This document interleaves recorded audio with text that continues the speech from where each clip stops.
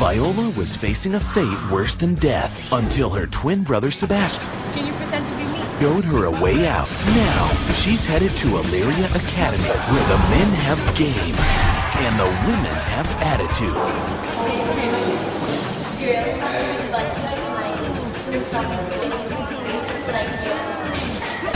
There is something odd about that new boy.